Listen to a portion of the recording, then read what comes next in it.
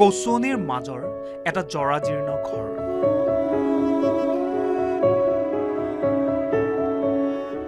ঘৰটোত নাই পকী দেৱাল। টিনেৰে ঢাকি কোনোমতেই বসবাস কৰি আছে এটা পৰিয়াল। বতাহ বৰষুণৰ মাজত এইদৰেই পাৰ কৰিছে বহু দিন ৰাতি। এনে এটা পৰিৱেশৰ পৰাই আহি জিলিকি উঠিল বিক্ৰম নামৰ এইজন যুৱক। সুখ্যাতিৰে যোৰহাট চিকিৎসা মহাবিদ্যালয়ৰ পৰা এম বি বি এছ চূড়ান্ত পৰীক্ষাত উত্তীৰ্ণ হয়।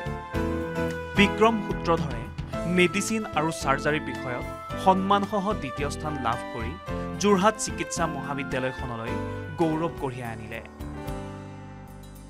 মই এই বছৰত হোৱা এম বি বি এছ চূড়ান্ত পৰীক্ষাত মই পাছ কৰিলোঁ।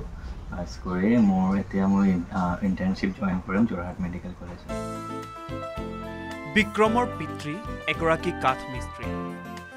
বহু কষ্ট কৰি বহু সংগ্ৰাম কৰি পুত্ৰক পঢ়ুৱাইছিল বিক্ৰমৰ এই সফলতাত আৱেগিক হৈ উঠিছে পিতৃ।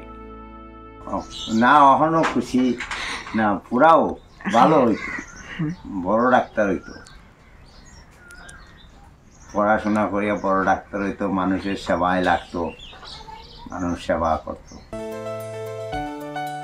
ইচ্ছাশক্তি প্ৰতিভা আৰু কঠোৰ পৰিশ্ৰম কৰিলে সকলো যে সম্ভৱ হ'ব পাৰে তাকেই প্ৰমাণ কৰিলে বিক্ৰমে। বিক্ৰম সৰুৰে পৰা পঢ়া শুনাত মেধাৱী আছিল। তেওঁ পাব্লিক উচ্চতৰ মাধ্যমিক বিদ্যালয়ৰ পৰা মাধ্যমিক আৰু ৰামানুজ গুপ্ত জুনিয়ৰ মহাবিদ্যালয়ৰ পৰা উচ্চতৰ মাধ্যমিকত নব্বৈ শতাংশৰ ওপৰত নম্বৰ লাভ কৰে। হাইস্কুলত পঢ়ি থকাৰ সময়তেই জীৱবিজ্ঞানৰ প্ৰতি তেওঁৰ আগ্ৰহ বাঢ়িছিল। তেতিয়াৰ পৰাই তেওঁ এগৰাকী চিকিৎসক হোৱাৰ সপোন দেখিছিল।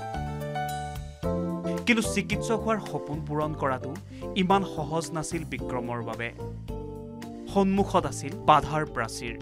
কিন্তু আৰ্থিক অনাটনে জুৰুলা কৰা পৰিয়ালটোক সহায় কৰিছিল বিভিন্নজনে। আমাৰ অৰ্থনৈতিক অৱস্থা অলপ সীমিত আছিলে।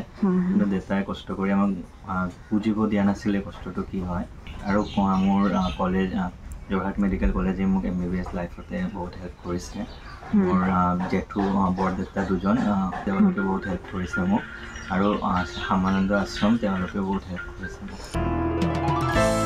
অৱশেষত বিক্ৰমৰ সপোন পূৰণ হ'ল। এই কচুৱনিৰ মাজৰ জৰাজীৰ্ণ ঘৰটোৰ পৰাই এগৰাকী চিকিৎসক হ'ল বিক্ৰম। এতিয়া বিক্ৰমৰ এটাই লক্ষ্য দেউতাকক আৰু তেওঁ কামলৈ যাব নিদিয়ে। ভাতৃভগ্নীৰ পঢ়াৰ দায়িত্বও ল'লে তেওঁৰ কান্ধত।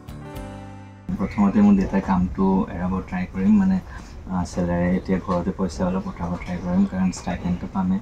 ভাইটি ভণ্টি পঢ়ি পঢ়ি আছে তেওঁলোকৰ ওচৰত থিয় দিব ট্ৰাই কৰিম। বিক্ৰম হওক সকলোৰে বাবে আদৰ্শ। শিলচৰৰ পৰা আশী দাসৰ ৰিপৰ্ট লোকেলিটি